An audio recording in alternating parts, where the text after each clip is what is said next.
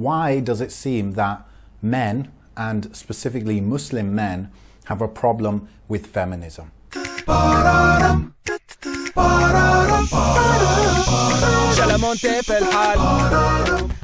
Assalamu alaikum wa rahmatullah. This is Ameen with Seera Masters developing your mindset for success, the Muslim's mindset for success.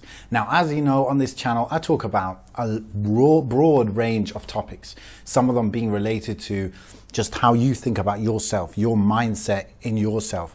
Other stuff is about, you know, career, getting a job, studies. Other stuff is about society and serving the world and um, how do you think of yourself in that role and all of this stuff. This video is about the society part of it, okay? Because really, we're all in the society, we all affect the society, and the society affects us. And you know, this whole thing of feminism and thinking about gender and the roles and all of that stuff is very, very important. And it's something that you know, back in my Twitter days, I used to talk about it without knowing really how to articulate myself. And that probably made my opponents um, feel like there wasn't a good argument for my opinion.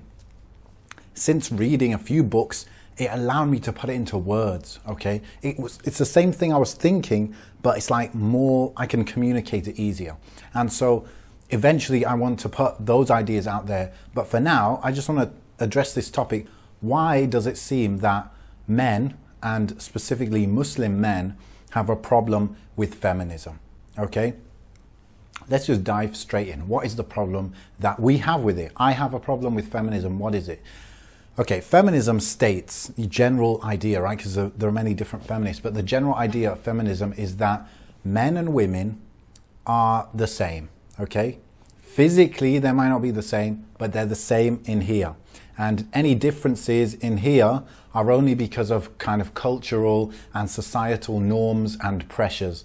And there's nothing here which is naturally different okay? And so that's why a woman should be able to do whatever she she wants you know that's that's allowed that's okay. And a man should be able to do what he wants which is okay right? So a woman could be a firefighter she could be in the army she could be the breadwinner.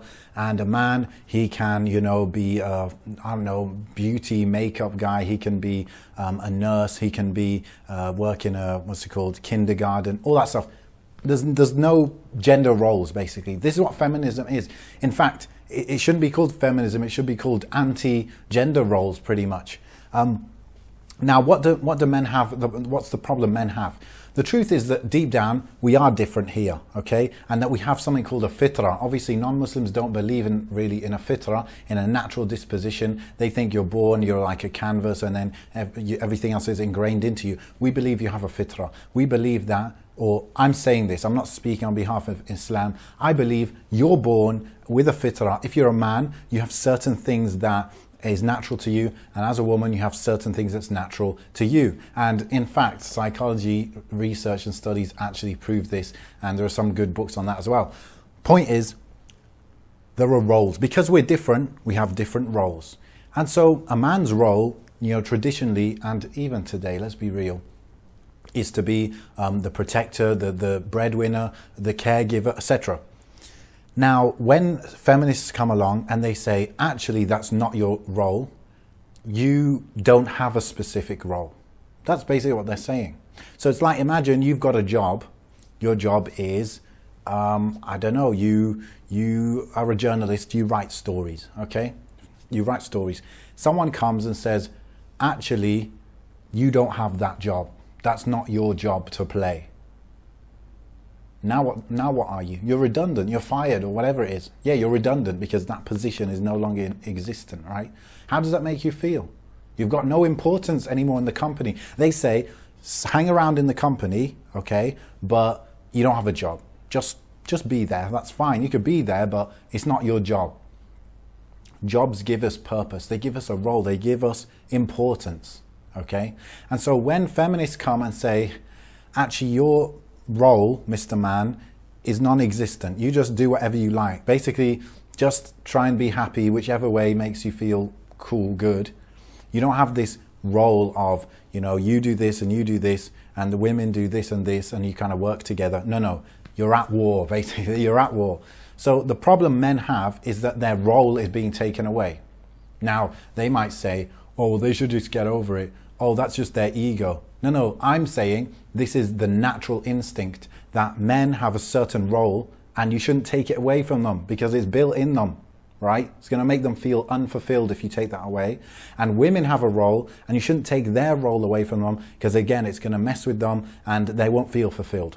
So, in short, the problem that men have with feminism is that it takes their importance and their role out of the world, right? Simple as that. That's the problem that we have. Um, and also, I've touched on some topics here which uh, we could dive in deeply, right? But I don't feel like it's the right time. Um, you know, such as what is feminism, what is gender, blah, blah, blah. Do we have roles? What is the fitra? We could dive into all these things, right?